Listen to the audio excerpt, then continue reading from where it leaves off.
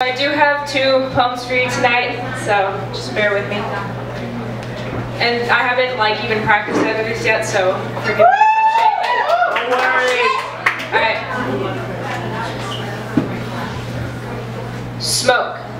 It catches the edge of your curtains. I am focusing on the light seeping into your room. Your gray painted walls are like the bottom of a fishbowl, an empty 150 gallon tank. My body has fallen to the bottom of. My reach went unrequited, and I grasped the edge of the glass with broken fingers and stood looking down to the millions of miles between me and my feet. And you are at the edge of where I stand and who I am. And I don't know who taught you to speak bullets without considering the exit wound, but the impact left dents in my ribs. I wish I could convince myself to open my eyes, but I see stars cut through desert skies and fade and hope you aren't as fleeting.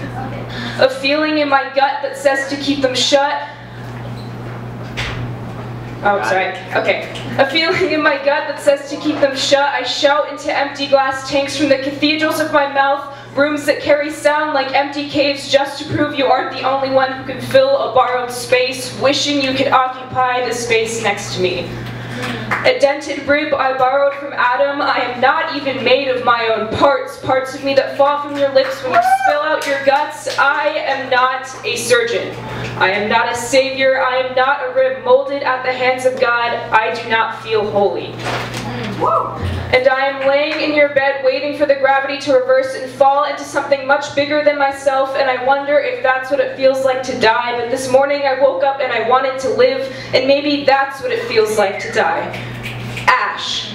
I am sitting in your gray painted room. It is like the ocean. I am focused on the light seeping in through waves of salt solution and maybe this is what it feels like to breathe or to be. I will wake up if this is what it feels like to live then in your gray painted room. Give me the morning. Mm.